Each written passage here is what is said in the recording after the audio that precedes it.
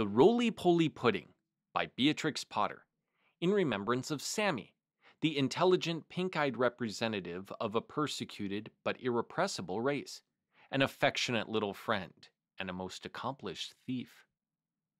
Once upon a time there was an old cat called Mrs. Tabitha Twitchit, who was an anxious parent. She used to lose her kittens continually, and whenever they were lost, they were always in mischief. On baking day, she determined to shut them up in a cupboard. She caught Moppet and Mittens, but she could not find Tom. Mrs. Tabitha went up and down all over the house, mewing for Tom Kitten. She looked in the pantry under the staircase, and she searched the best spare bedroom that was all covered up with dust sheets. She went right upstairs and looked into the attics, but she could not find him anywhere. It was an old, old house, full of cupboards and passages. Some of the walls were four feet thick, and there used to be queer noises inside them, as if there might be a little secret staircase. Certainly there were odd little jagged doorways in the wainscot, and things disappeared at night, especially cheese and bacon. Mrs. Tabitha became more and more distracted and mewed dreadfully. While their mother was searching the house, Moppet and Mittens had got into mischief. The cupboard door was not locked, so they pushed it open and came out. They went straight to the dough, which was set to rise in a pan before the fire. They patted it with their little soft paws. Shall we make dear little muffins? said Mittens to Moppet. But just at that moment, somebody knocked at the front door, and Moppet jumped into the flour barrel in a fright. Mittens ran away to the dairy and hid in an empty jar on the stone shelf where the milk pans stand. The visitor was a neighbor, Mrs. Ribby. She had called to borrow some yeast. Mrs. Tabitha came downstairs mewing dreadfully.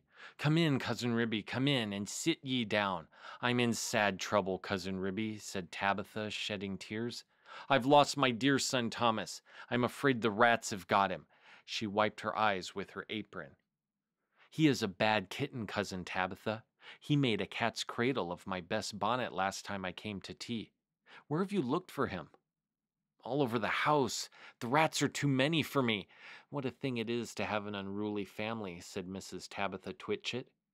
I am not afraid of rats. I will help you to find him and whip him too. What is all that soot in the fender? The chimney wants sweeping. Oh, dear me, Cousin Ribby. Now Moppet and Mittens are gone. They have both got out of the cupboard. Ribby and Tabitha set to work to search the house thoroughly again. They poked under the beds with Ribby's umbrella and they rummaged in cupboards. They even fetched a candle and looked inside a clothes chest in one of the attics. They could not find anything, but once they heard a door bang and somebody scuttered downstairs. Yes, it is infested with rats, said Tabitha tearfully. I caught seven young ones out of one hole in the back kitchen and we had them for dinner last Saturday. And once I saw the old father rat, an enormous old rat, Cousin Ribby. I was just going to jump upon him when he showed his yellow teeth at me and whisked down the hole. The rats get upon my nerves, Cousin Ribby, said Tabitha. Ribby and Tabitha searched and searched. They both heard a curious roly poly noise under the attic floor, but there was nothing to be seen. They returned to the kitchen Here's one of your kittens, at least, said Ribby, dragging Moppet out of the flour barrel. They shook the flour off her and set her down on the kitchen floor. She seemed to be in a terrible fright. Oh, mother, mother, said Moppet, there's been an old woman rat in the kitchen, and she's stolen some of the dough. The two cats ran to look at the dough pan. Sure enough, there were marks of little scratching fingers, and a lump of dough was gone. Which way did she go, Moppet? But Moppet had been too much frightened to peep out of the barrel again. Ribby and Tabitha took her with them to keep her safely in sight while they went on with their search. They went into the dairy. The first thing they found was Mittens hiding in an empty jar. They tipped over the jar and she scrambled out. Oh, mother, mother, said Mittens. Oh, mother, mother, there has been an old man rat in the dairy, a dreadful, enormous, big rat, mother, and he's stolen a pat of butter and the rolling pin. Ribby and Tabitha looked at one another. A rolling pin and butter! Oh, my poor son Thomas, exclaimed Tabitha, wringing her paws. A rolling pin, said Ribby. Did we not hear a roly poly noise in the attic when we were looking into that chest?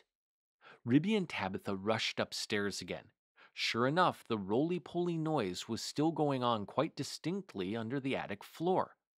This is serious, Cousin Tabitha, said Ribby. We must send for John Joiner at once with a saw. Now, this is what had been happening to Tom Kitten, and it shows how very unwise it is to go up a chimney in a very old house, where a person does not know his way and where there are enormous rats. Tom Kitten did not want to be shut up in a cupboard. When he saw that his mother was going to bake, he determined to hide. He looked about for a nice convenient place, and he fixed upon the chimney. The fire had only just been lighted, and it was not hot, but there was a white, choky smoke from the green sticks. Tom Kitten got upon the fender and looked up. It was a big old fashioned fireplace. The chimney itself was wide enough inside for a man to stand up and walk about, so there was plenty of room for a little tomcat. He jumped right up into the fireplace, balancing himself upon the iron bars where the kettle hangs. Tom Kitten took another big jump off the bar and landed on a ledge high up inside the chimney, knocking down some soot into the fender. Tom Kitten coughed and choked with the smoke. He could hear the sticks beginning to crackle and burn in the fireplace down below. He made up his mind to climb right to the top and get out on the slates and try to catch sparrows. I cannot go back. If I slipped, I might fall in the fire and singe my beautiful tail and my little blue jacket. The chimney was a very big old fashioned one. It was built in the days when people burnt logs of wood upon the hearth. The chimney stack stood up above the roof like a little stone tower, and the daylight shone down from the top under the slanting slates that kept out the rain. Tom Kitten was getting very frightened. He climbed up and up and up. Then he waded sideways through inches of soot. He was like a little sweep himself. It was most confusing in the dark. One flue seemed to lead into another. There was less smoke, but Tom Kitten felt quite lost. He scrambled up and up, but before he reached the chimney top, he came to a place where somebody had loosened a stone in the wall. There were some mutton bones lying about. This seems funny, said Tom Kitten. Who has been gnawing bones up here in the chimney? I wish I had never come. And what a funny smell. It is something like mouse, only dreadfully strong. It makes me sneeze, said Tom Kitten. He squeezed through the hole in the wall and dragged himself along a most uncomfortably tight passage where there was scarcely any light. He groped his way carefully for several yards. He was at the back of the skirting board in the attic, where there is a little mark in the picture. All at once he fell head over heels in the dark down a hole and landed on a heap of very dirty rags. When Tom Kitten picked himself up and looked about him, he found himself in a place that he had never seen before, although he had lived all his life in the house. It was a very small, stuffy, fusty room with boards and rafters and cobwebs and lath and plaster. Opposite to him, as far away as he could sit, was an enormous rat what do you mean by tumbling into my bed all covered with smuts? said the rat, chattering his teeth. Please, sir, the chimney wants sweeping, said poor Tom Kitten. Anna Maria, Anna Maria, squeaked the rat. There was a pattering noise, and an old woman rat poked her head round a rafter. All in a minute, she rushed upon Tom Kitten, and before he knew what was happening, his coat was pulled off, and he was rolled up in a bundle and tied with strings and very hard knots. Anna Maria did the tying, the old rat watched her and took snuff. When she had finished, they both sat staring at him with their mouths open. Anna Maria, said the old man rat, whose name was Samuel Whiskers. Anna Maria, make me a kitten dumpling roly poly pudding for my dinner. It requires dough and a pat of butter and a rolling pin, said Anna Maria, considering Tom Kitten with her head on one side. No, said Samuel Whiskers. Make it properly, Anna Maria, with breadcrumbs. Nonsense. Butter and dough, replied Anna Maria. The two rats consulted together for a few minutes and then went away. Samuel Whiskers got through a hole in the wainscot and went boldly down the front staircase to the dairy to get the butter. He did not meet anybody. He made a second journey for the rolling pin. He pushed it in front of him with his paws, like a brewer's man trundling a barrel. He could hear Ribby and Tabitha talking, but they were too busy lighting the candle to look into the chest. They did not see him. Anna Maria went down by way of skirting board and a window shutter to the kitchen to steal the dough. She borrowed a small saucer and scooped up the dough with her paws. She did not observe Moppet. While Tom Kitten was left alone under the floor of the attic, he wriggled about and tried to mew for help.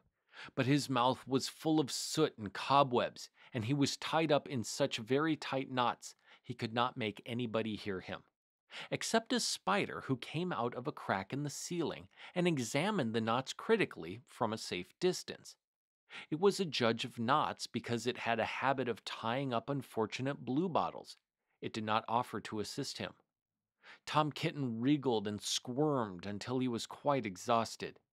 Presently, the rats came back and set to work to make him into a dumpling. First, they smeared him with butter, and then they rolled him in the dough. Will not the string be very indigestible, Anna Maria? inquired Samuel Whiskers. Anna Maria said she thought that it was of no consequence, but she wished that Tom Kitten would hold his head still, as it disarranged the pastry. She laid hold of his ears. Tom Kitten bit and spit and mewed and wriggled, and the rolling pin went roly poly roly, roly poly roly. The rats each held an end. His tail is sticking out, you did not fetch enough dough, Anna Maria. I fetched as much as I could carry, replied Anna Maria.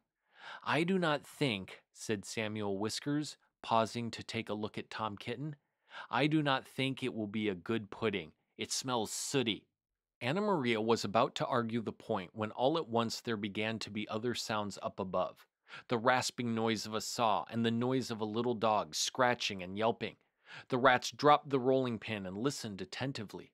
We are discovered and interrupted, Anna Maria. Let us collect our property and other people's and depart at once. I fear that we shall be obliged to leave this pudding, but I am persuaded that the knots would have proved indigestible, whatever you may urge to the contrary. Come away at once and help me to tie up some mutton bones in a counterpane, said Anna Maria.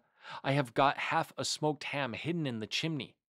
So it happened that by the time John Joiner had got the plank up, there was nobody here under the floor except the rolling pin and Tom Kitten in a very dirty dumpling.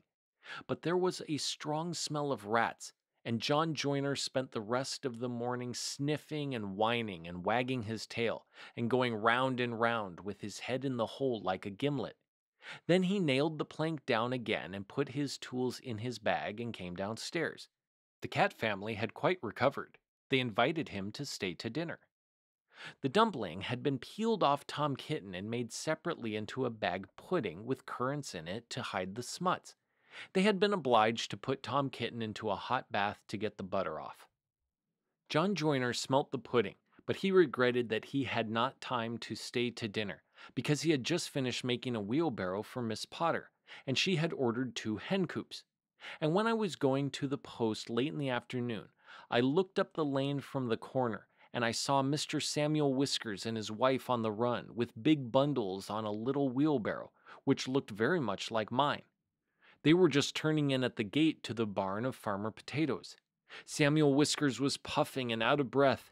Anna Maria was still arguing in shrill tones. She seemed to know her way, and she seemed to have a quantity of luggage. I am sure I never gave her leave to borrow my wheelbarrow. They went into the barn and hauled their parcels with a bit of string to the top of the haymow. After that, there were no more rats for a long time at Tabitha Twitchit's. As for Farmer Potatoes, he has been driven nearly distracted. There are rats and rats and rats in his barn. They eat up the chicken food and steal the oats and bran and make holes in the meal bags and they are all descended from Mr. and Mrs. Samuel Whiskers, children and grandchildren and great great grandchildren. There is no end to them. Moppet and Mittens have grown up into very good rat catchers. They go out rat catching in the village and they find plenty of employment. They charge so much a dozen and earn their living very comfortably. They hang up the rats' tails in a row on the barn door to show how many they have caught, dozens and dozens of them. But Tom Kitten has always been afraid of a rat. He never durst face anything that is bigger than a mouse. The end.